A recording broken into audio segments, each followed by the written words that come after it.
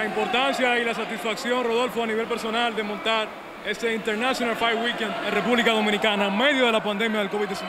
Mira, ha sido eh, un gran reto poder hacer este tipo de eventos, eh, pero gracias al apoyo de, de, las autoridades, tanto de deporte como de salud pública, que facilitaron, aprobaron el protocolo, se sentaron con nosotros.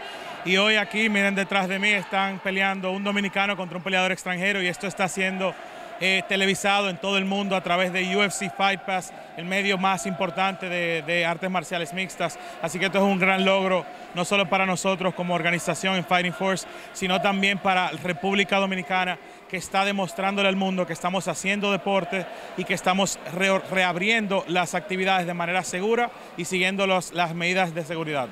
Los dominicanos podrán seguir recibiendo oportunidad de pelear en promotoras a nivel internacional. Sí, esa es la idea. Nosotros tenemos una visión de desarrollar el talento local y los mejores talentos poder exponerlos, eh, no solo a través de, como dije, UFC Fight Pass, sino también a, promotoras mundiales eh, para que lleguen a las grandes ligas de la MMA.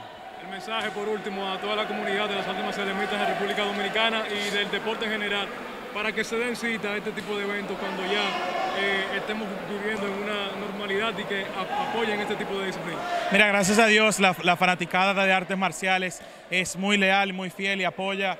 Eso es algo bueno y cada día se unen más personas que ven lo que estamos haciendo, ven la, disciplina y el talento de estos muchachos y se unen. Así que gracias a todos y decirle que sigan apoyando nuestras actividades, que nos sigan en redes sociales, arroba Fighting Force y se den cita cuando las circunstancias lo permitan y podamos tener público. Eh, vengan y apóyenos como siempre. Papá, gracias.